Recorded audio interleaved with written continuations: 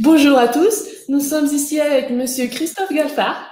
Bonjour Christophe. Donc, euh, tout d'abord, au nom de l'ambassade de France au Mexique et de l'IFAL, je vous remercie de nous accorder cet entretien.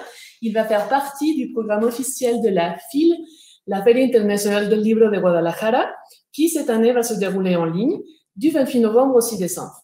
Cet entretien va plus spécifiquement faire partie du volet euh, La FIL también es ciencia, consacré à la vulgarisation scientifique. Donc, bonjour Christophe. Bonjour Valérie. Alors, plutôt que de vous présenter, je vais vous laisser faire le travail. Pourriez-vous, s'il vous plaît, vous présenter, nous parler un petit peu de votre parcours? Alors, euh, bonjour à tout le monde. Merci beaucoup de m'inviter pour cette euh, un petit peu particulière euh, que je fais dans mon petit bureau. Donc, j'ai réussi à cacher les, les, le radiateur avec des livres pour essayer de rendre ça un petit peu plus joli. Et alors, qui je suis? Je suis de formation scientifique. J'ai fait un doctorat de physique théorique à l'université de Cambridge en Angleterre, où j'ai eu l'immense honneur d'être euh, l'élève de professeur Stephen Hawking, avec qui j'ai travaillé sur les trous noirs, sur l'origine de notre univers et ce genre de choses, et avec qui j'ai un petit peu parcouru le monde pour essayer aussi de vulgariser la science et de faire en sorte que le plus grand nombre possible de, de jeunes filles et de jeunes garçons et d'adultes euh, de, tout, tout, euh, de tout background confondu et la chance de partager un petit peu les découvertes scientifiques d'aujourd'hui. Alors maintenant, depuis quelques années, voilà, je parcours le monde, euh, je donne des conférences, je l'ai fait devant près de 1 million de personnes maintenant, et j'écris des livres comme les deux qui sont là. Il y en a un qui est sur E égale MC2, que voici, et un qui est sur tout le reste de l'univers, y compris E égale MC2, que voilà. Et ce sont des livres qui s'adressent à des gens qui n'ont pas nécessairement de bagage scientifique. Ce sont des livres qui permettent de voyager, de visualiser un petit peu l'univers tel qu'il est compris par la science d'aujourd'hui. Voilà, Valérie, une petite introduction. Super, merci beaucoup. Donc, on a bien compris que vous aimez beaucoup les voyages, donc à la fois, j'imagine, physique et puis tous ces voyages de l'esprit. Donc, euh, bah, je vais vous demander de nous aider à voyager un petit peu cet après-midi. Et euh, on peut commencer par la Terre, on peut commencer par l'espace, par l'univers. Je sais que vous faites parfois tomber les gens dans des trous noirs. Alors, euh, faites-nous rêver, donnez-nous votre image la plus marquante de l'espace. Bah, peut-être avant de partir sur l'image la, plus marquante de l'espace, je voudrais rappeler quelque chose.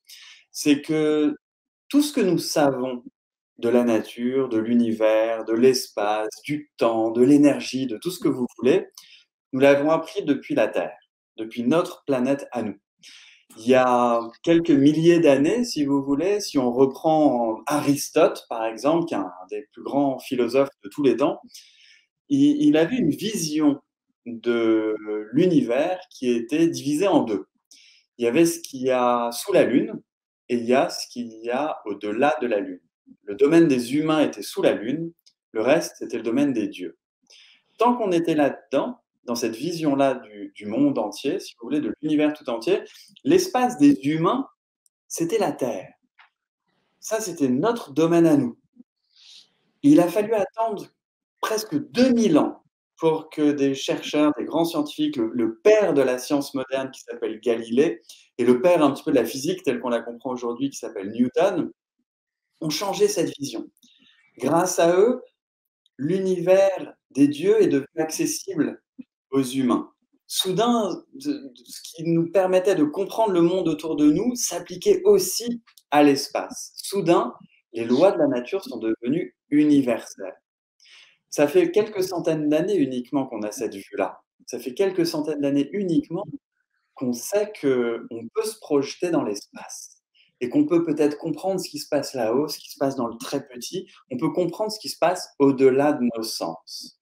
C'est le but un petit peu de la physique théorique d'aujourd'hui, c'est de comprendre ces lois qui régissent la nature, ces lois qui s'appliquent partout dans notre univers tout entier et qui, de manière absolument pas prévue, nous permettent de comprendre des choses qu'on voit au-dessus, autour de nous, et aussi des mystères. Alors maintenant, une fois que ça s'est dit, on essaye de trouver ces lois-là. On essaye de trouver des endroits où il y a des choses qui ne sont pas encore expliquées. Alors, il y a beaucoup de gens qui pensent peut-être qu'une bonne partie de notre univers est déjà expliquée. On ne peut pas être plus loin de la vérité. à chaque fois qu'on découvre quelque chose de nouveau, il y a des mystères qui vont avec. À chaque fois qu'on découvre quelque chose de nouveau, le domaine de la pensée, le domaine des humains s'élargit et du coup les frontières aussi. Ce qui ne veut pas dire que ce qu'on a découvert jusqu'à aujourd'hui est faux ou que ça ne s'applique plus. C'est juste qu'on arrive à aller de plus en plus loin. Et ce que j'adore faire, moi, la façon dont j'adore un petit peu parler de la science, c'est de refaire, d'offrir, si vous voulez, dans la tête des lecteurs ou dans la tête des, gens qui viennent m'écouter, ce que vous disiez tout à l'heure, un voyage. On peut, grâce à la pensée, grâce à l'imaginaire, atteindre tous les endroits qu'on veut dans l'univers, dans le très grand, dans le très petit. On est capable de faire ça rien que grâce à notre imagination. Alors pendant les moments de confinement, c'est pas plus mal, hein, parce qu'on peut de, se dire qu'on peut voyager dans l'univers tout entier sans bouger de chez soi. C'est ce que j'avais, c'est ce qu'il y avait écrit en bandeau sur mon, sur ce livre-là euh, il, y a, il, y a, quelques années, avant le confinement. Ça aurait été pas mal qu'ils le remettent peut-être maintenant. Super. Alors, vous êtes donc, vous nous avez expliqué, vous êtes un physicien théorique. Donc, j'aimerais juste qu'on prenne quelques minutes parce que vous nous avez parlé de toute cette loi de la nature, de toute cette loi universelle, de comment vous essayez de nous aider à comprendre comment fonctionne notre univers, depuis les atomes jusqu'aux étoiles. Et euh, je veux juste me faire un petit peu l'avocate du diable. Justement, cette période de confinement, on a vu beaucoup de fake news, on a vu beaucoup de méfiance par rapport aux connaissances. Vous venez de nous dire que les connaissances évoluent, que ça ne veut pas dire que ce qu'on savait avant était faux et que maintenant c'est vrai et qu'ensuite ça, va, changer. J'aimerais qu'on se remette un petit peu dans ce contexte, que vous nous aidiez à comprendre et, et peut-être aussi à notre jeune public qui aimerait faire de la physique ou qui n'y avait pas encore pensé. Euh, pourquoi c'est important de comprendre tous ces mécanismes? Pourquoi c'est important qu'on comprenne comment fonctionnent les atomes, comment fonctionne l'univers? Et aussi que vous nous disiez si dans votre domaine et dans tous ces domaines qui font partie de votre, univers, euh, il y a aussi des fake news et comment on peut faire pour lutter contre elles. Dans l'histoire de l'humanité, quelque part dans l'histoire des idées, on peut se demander quelle discipline humaine nous a permis de découvrir des choses qu'on ne connaissait pas, des choses qui sont extérieures à nos sens, des choses qu'on ne peut pas voir parce qu'elles sont inaccessibles.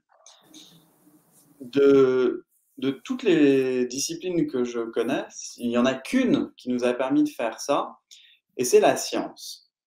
Alors entendons-nous bien, quand je dis ça, ça ne veut pas dire que je minimise l'impact des autres disciplines, que ce soit la philosophie ou des croyances ou ce genre de choses. Pas du tout. C'est juste que la science, c'est une, une, discipline humaine qui a été découverte petit à petit. Ça a pris des milliers d'années pour réaliser que ça fonctionne. Ça a pris des milliers d'années pour réaliser qu'il existe des lois autour de nous pour vous donner un exemple tout bête, hein, lorsque vous faites tomber quelque chose, par exemple, si je fais tomber mon livre, hop, comme ça, je ne vais pas m'attendre à ce qu'il s'envole. Quand il tombe, il tombe vers le bas. Bon, ben, ce genre de, choses, une fois qu'on l'a tous réalisé, on, peut remarquer que ça arrive tout le temps de la même manière. Du coup, que peut-être il y a des lois qui sont derrière. comme je le disais tout à l'heure, la recherche de ces lois, c'est ça qu'on appelle la physique. Et ça dépend absolument pas de vos croyances, de vos philosophies, etc c'est relativement, c'est un langage qui est relativement universel et qui réunit tous les peuples, tout le monde. Mmh. Maintenant, euh, effectivement, la science, c'est une discipline. Après, il y a les scientifiques, qui sont des individus à l'intérieur de cette discipline. Et les, scientifiques, comme tous les autres, sont des humains. Ils peuvent faire des erreurs, ils peuvent vouloir tirer un profit parfois de ce qu'ils ont envie de faire, ils peuvent euh, dire des bêtises, et ils peuvent euh, essayer d'arnaquer le monde. Ça, c'est des individus. Mais dans l'ensemble, en tant que discipline, on n'a pas de discipline qui soit plus puissante que celle-là, et qui soit plus efficace et qui fonctionne. Ça n'existe pas. La, science, il faut le rappeler, c'est une discipline qui, est partagé par énormément de gens, qui nécessite des vérifications et qui est toujours prêt à se remettre en question. Il ne faut pas confondre ce, que certains peuvent dire en disant n'importe quoi et la science. C'est un peu extérieur à l'individu. Alors oui, il y a des fake news euh, en science aussi, mais en général, euh, quelques semaines plus tard, elles sont rectifiées et rattrapées. Et dans le domaine scientifique, on le reconnaît assez rapidement et en général, c'est rectifié. Ce n'est pas vraiment un problème. Ça devient un problème lorsque c'est utilisé envers le grand public, où des choses sont dites qui sont mais complètement absurdes, qui ne veulent strictement rien dire, et qui utilisent des mots compliqués pour faire croire qu'on sait quelque chose alors qu'on sait rien. Il y a plein d'exemples comme ça, il y en a tous les jours. Hein. Même euh, pour citer des choses, je viens de voir une, une vidéo d'un philosophe français sur le, le, qui est connu en plus sur le réchauffement climatique où il dit mais n'importe quoi. on voit bien qu'il n'a absolument aucune idée du sens des mots qu'il utilise. Et ça, forcément, quand on est le grand public, on ne sait pas, on croit, on écoute.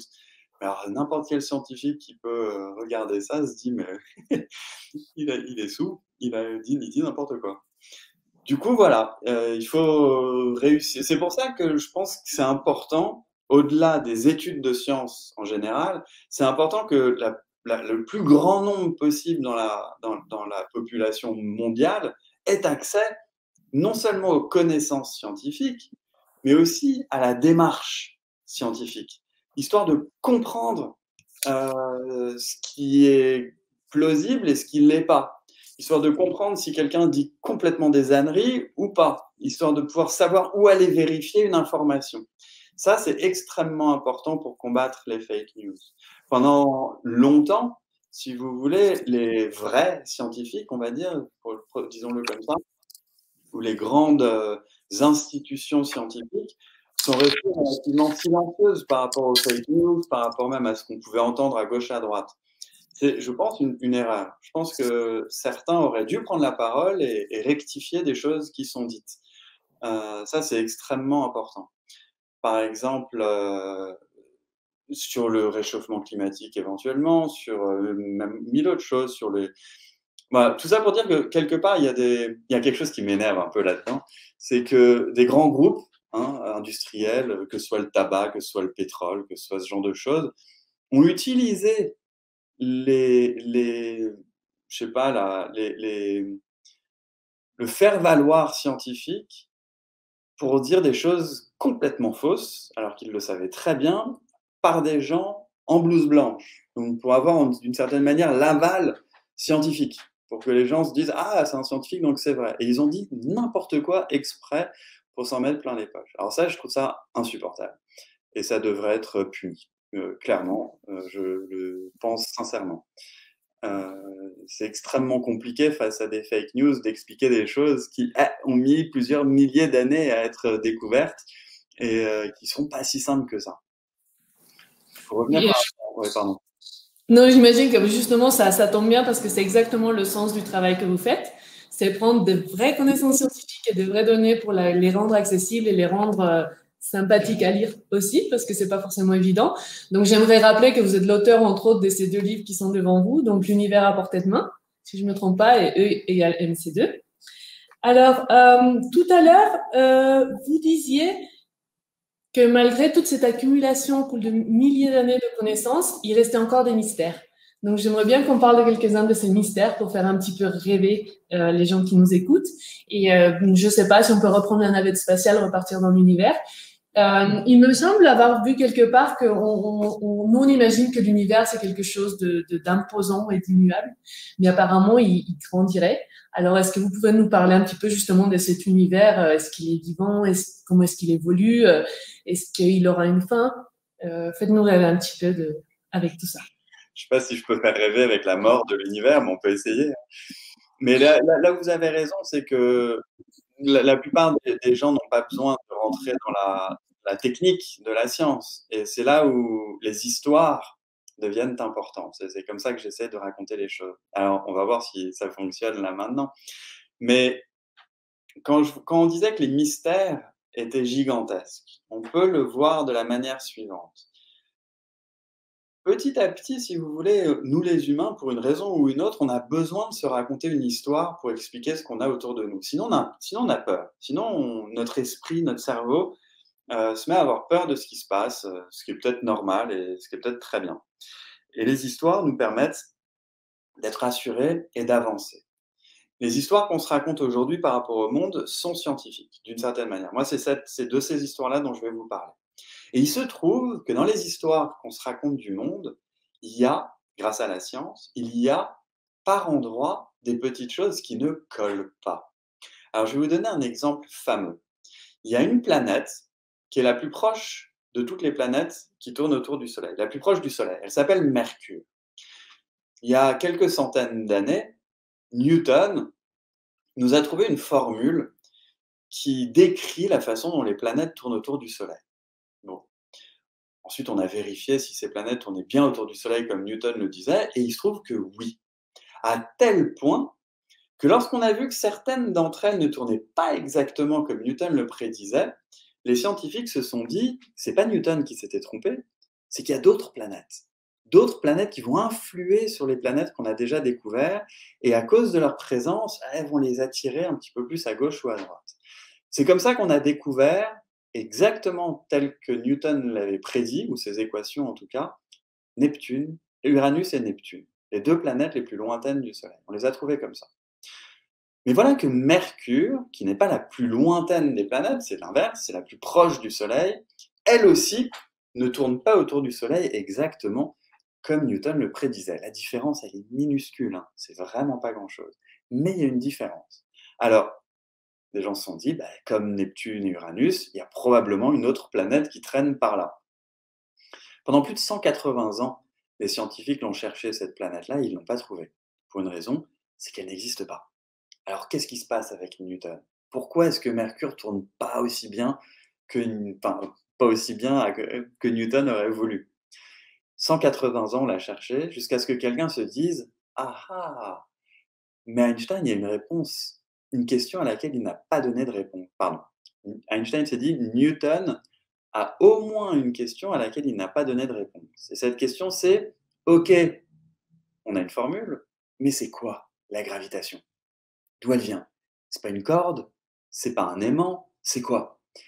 Eh bien, 180 ans après Newton, Einstein s'est posé cette question et il nous a donné une réponse. Et cette réponse, il s'est dit que c'est dans l'espace, une fois qu'on a tout enlevé, c'est dans l'espace, dans ce qui reste, que naît la gravitation.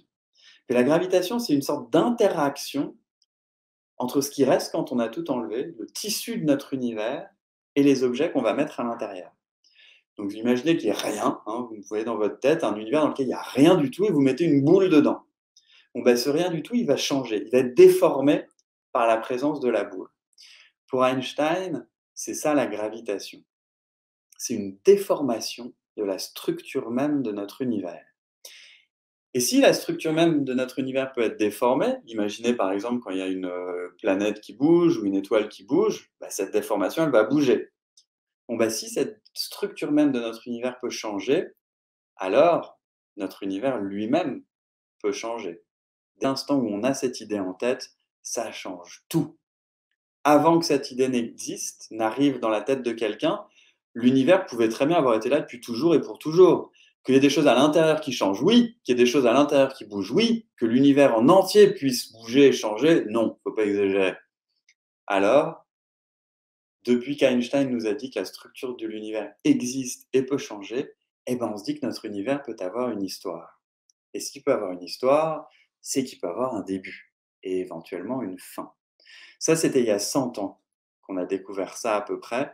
Et depuis, plus ou moins tout le monde vit à cette, culture que notre univers est né dans un Big Bang et vit ça tout le monde là, et puis qui mourra peut-être dans une autre forme de Big Bang qu'on appelle un Big Crunch, c'est l'inverse d'un Big Bang, ou qui s'étendra euh, pour toujours et à jamais, c'en est une autre. Alors rien que ça, vous imaginez le mystère qui est né euh, avec cette idée?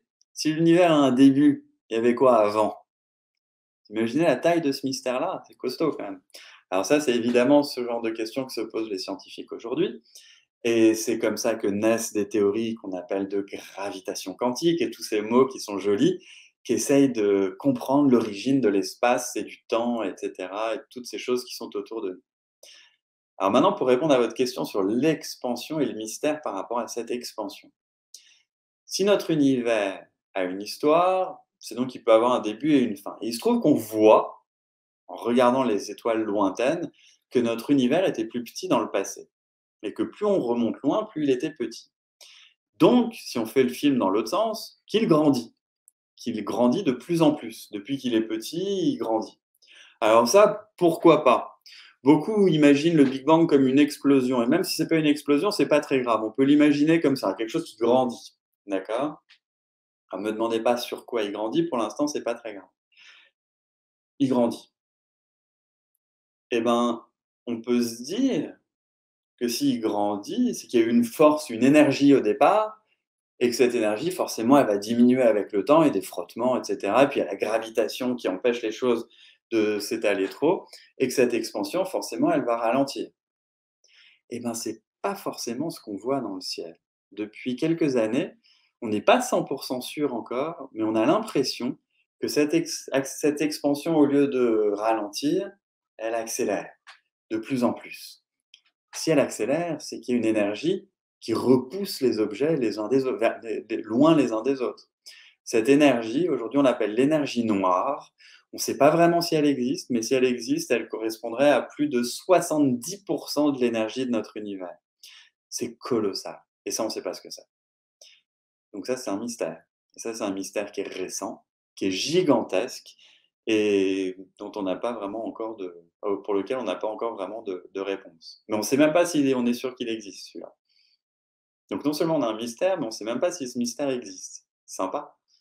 Bon, bah, l'avantage est qu'il reste encore beaucoup de travail pour tous les jeunes qui vont vouloir se lancer euh, dans la physique, dans la physique théorique et dans toutes les autres disciplines scientifiques. Ça, c'est une excellente nouvelle. Euh, mais en fait, oui, même avec la possible euh, mort de notre univers, vous avez réussi à nous faire rêver. Merci beaucoup. Et j'aimerais donc qu'on continue.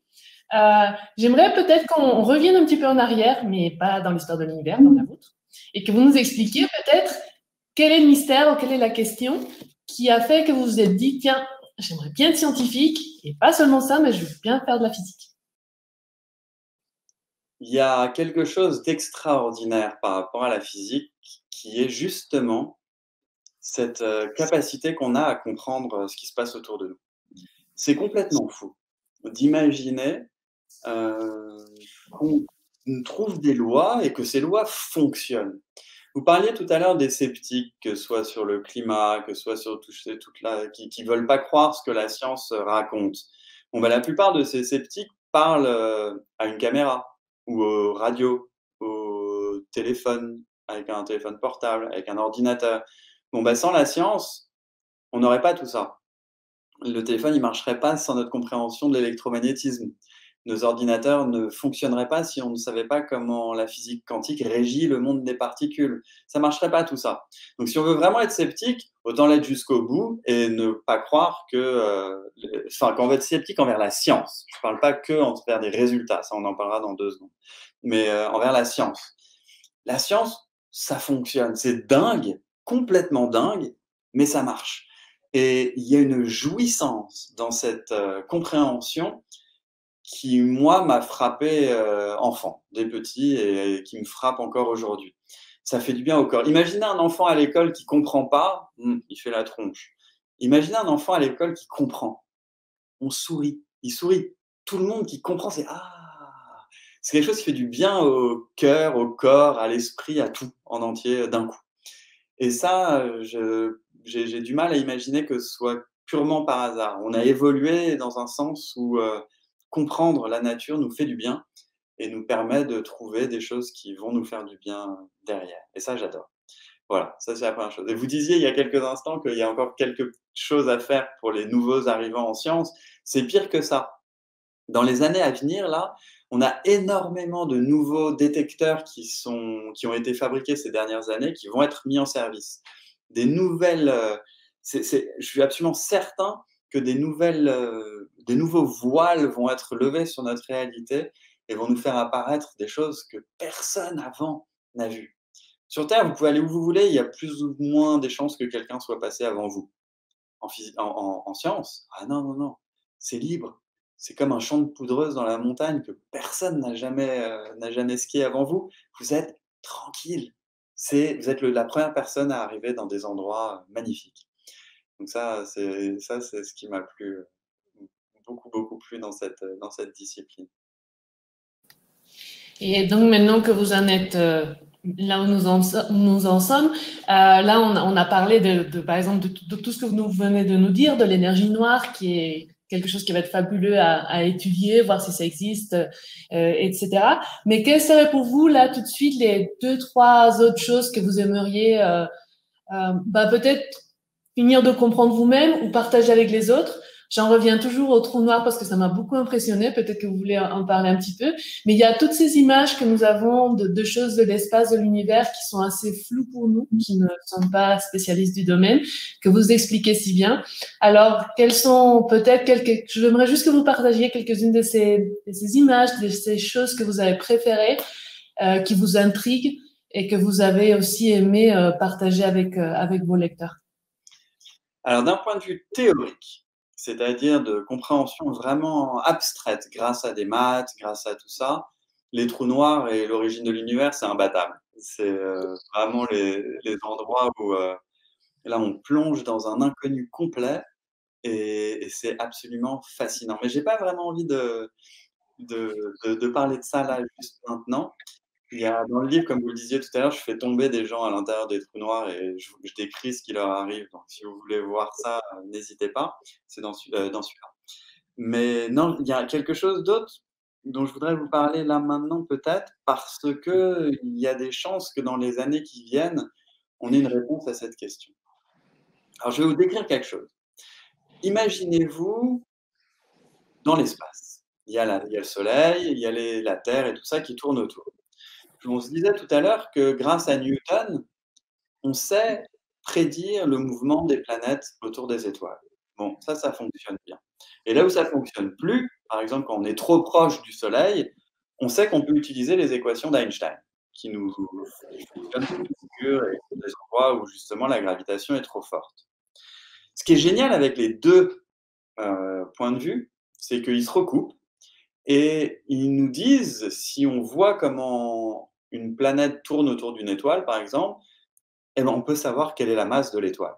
On peut savoir la quantité d'énergie qui est là et qui est nécessaire pour qu'une étoile et, et, une planète se tournent autour. Bon, ça c'est notre point de départ. Maintenant, on va prendre un télescope et on va regarder les galaxies lointaines. Les galaxies, c'est des îlots d'étoiles. Il y en a plein des centaines de milliards d'étoiles qui se tournent tout autour et qui forment, disons, une sorte de spirale autour d'un centre qui est très lumineux parce qu'il y a des milliards et des milliards d'étoiles au centre, du coup c'est très lumineux, et autour tout tourne. Alors, on imagine bien que par la gravitation, si j'ai un soleil qui est là et une planète qui est juste à côté, pour pas que la planète tombe, faut qu'elle tourne très vite. D'accord? Si elle est plus loin, elle est moins attirée, donc pour qu'elle tourne autour, elle va tourner plus lentement. Si elle tourne trop vite quand elle est loin, elle va être éjectée et elle va partir. Si elle tourne pas assez vite, eh ben, elle va tomber. Donc il y a une vitesse qui est là-bas. On imagine que dans une galaxie, si vous avez des centaines de milliards d'étoiles dans une spirale comme ça, les, étoiles qui sont lointaines, qui sont loin du centre, vont être moins attirées vers le centre. Du coup, elles vont, se, elles vont se balader de manière un peu plus peinard, moins vite autour du centre. Et plus vous allez vous approcher du centre, plus les étoiles vont tourner vite. Bon. Eh ben, au début du XXe siècle, il y, a un, astronome, il y en a plusieurs, mais il y en a un, disons, qui est plus connu que les autres, qui s'appelle Zwicky, qui a vu que c'était bizarre un peu tout ça. Mais c'est un peu passé sous silence. Et dans les années 70, il y a une astronome américaine qui s'appelle Vera Rubin, qui est géniale, qui a elle, a, elle a regardé les étoiles des galaxies proches et elle a vu que bah, pas du tout en fait. Zwicky avait un peu raison, mais sans le savoir parfaitement, et que euh, elle, a vu que les étoiles lointaines, eh ben, elles tournaient beaucoup trop vite du centre par rapport au centre de leur galaxie. C'est-à-dire que si on avait juste la masse qu'on voit, les étoiles qui sont à l'extérieur des galaxies devraient toutes être éjectées. Les galaxies devraient exploser et envoyer au loin toutes les galaxies, toutes leurs étoiles, y compris la Voie lactée, y compris notre galaxie elle si les étoiles restaient là où elles sont, c'est parce qu'il y avait quelque chose qui les maintenait. Une masse, une énergie, quelque chose. Cette masse, cette énergie, on l'appelle la masse, pardon, la masse sombre. comme l'énergie noire tout à l'heure, et là c'est la matière noire ou la matière sombre. L'énergie noire dont je vous parlais tout à l'heure, on n'est pas sûr qu'elle existe. La matière noire, on est quasi certain, parce qu'on a plein de manières différentes de voir qu'elle est là. Mais on ne sait pas ce que c'est. Et elle, il y en a cinq fois plus que la matière qu'on voit. C'est-à-dire que tout ce que vous avez appris à l'école sur l'énergie, sur la matière, etc., ça correspond à cinq fois moins que cette matière noire dont on n'a aucune idée de ce que ça peut bien être. À chaque fois que vous avez une bouteille de lait chez vous, eh ben, il y a cinq bouteilles de lait noir, d'un truc qu'on ne sait pas ce que c'est, qui sont autour, pas pile au même endroit, mais qui sont euh, autour dans l'univers, euh, et on ne sait pas ce que c'est. Cette matière noire, inconnue, je suis certain que dans les années qui viennent, on réussira à savoir ce que c'est. Et ça, j'adorerais qu'on puisse... Euh, je pense que ça va révolutionner complètement notre vision de l'univers tout entier, de savoir ce qu'est cette matière noire. Peut-être que ça changera notre futur, notre... Euh, j'en sais rien. Mais en tout cas, ça va être dingue lorsqu'on aura découvert de quoi cette matière noire est faite. Alors, à travers toute cette conversation, je pense que c'est assez clair que bon, c'est super important ce que notre esprit fait.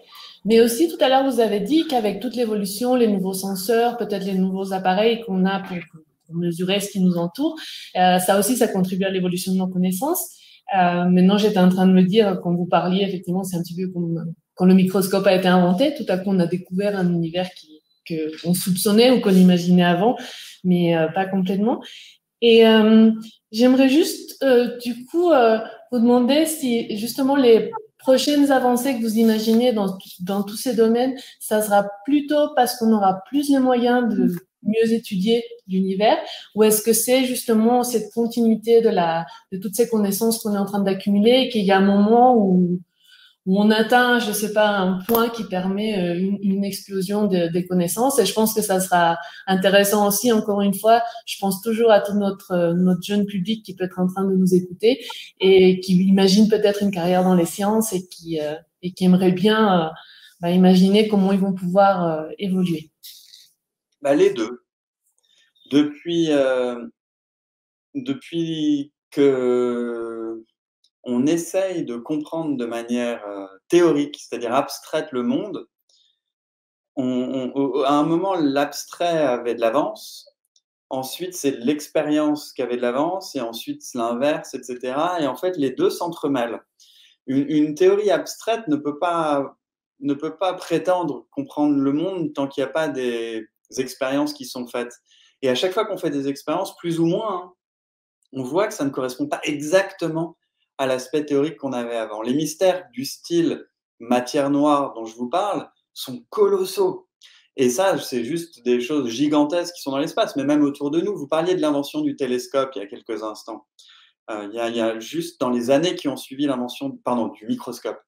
Dans les années qui ont suivi l'invention du microscope, il y a un, scientifique qui s'appelle Van Leeuwenhoek qui a regardé le vivant grâce à ça et qui a vu que partout autour de nous, il existe des êtres, des organismes, pardon, microscopiques.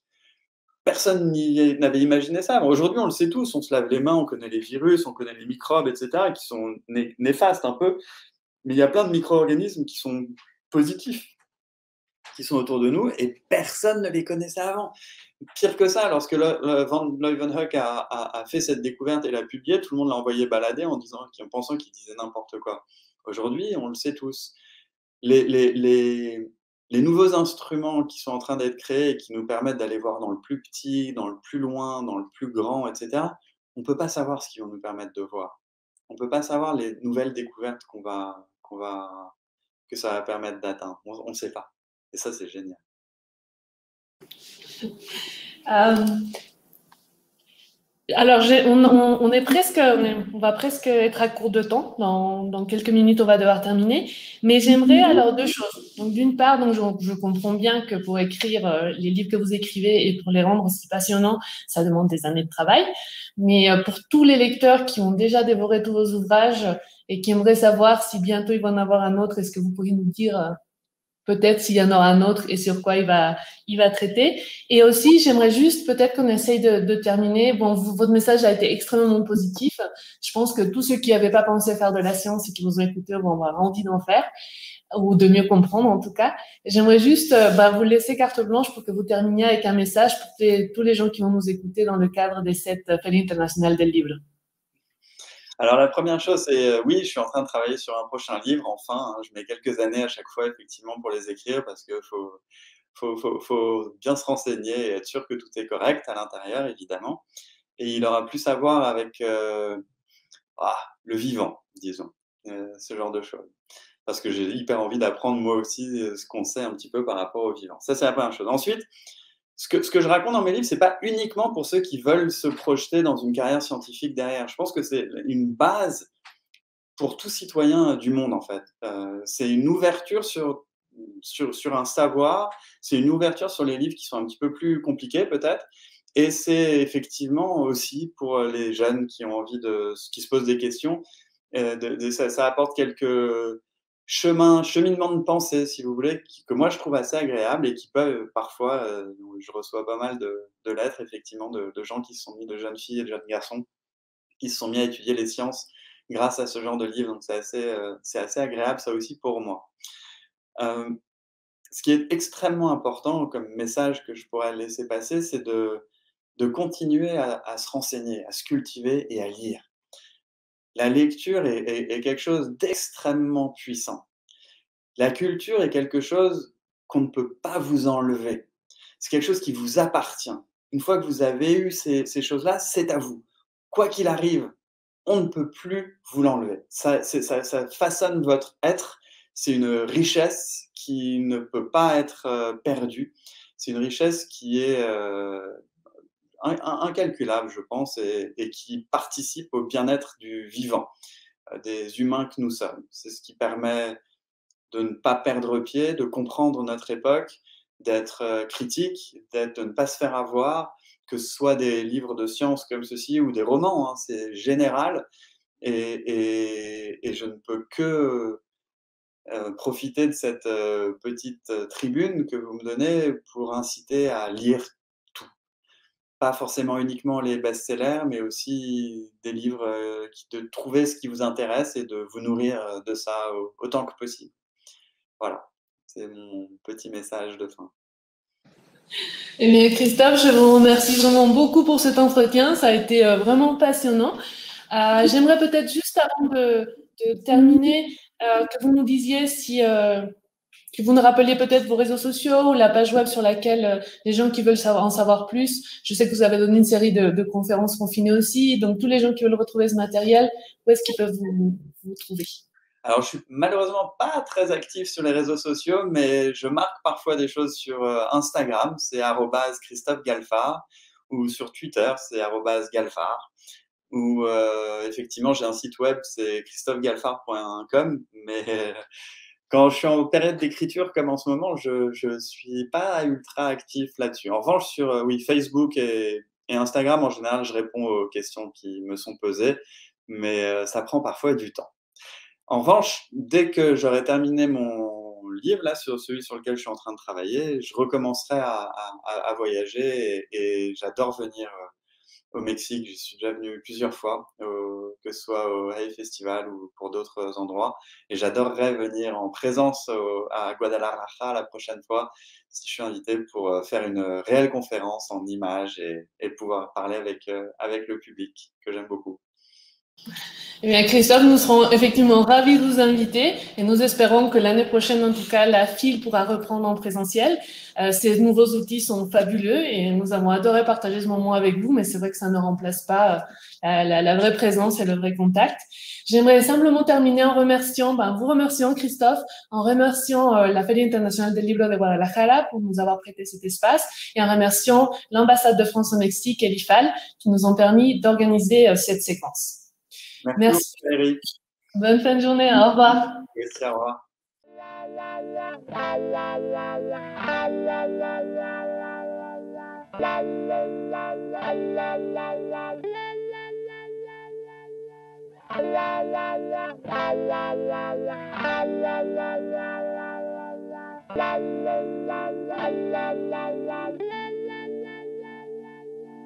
La la la la la la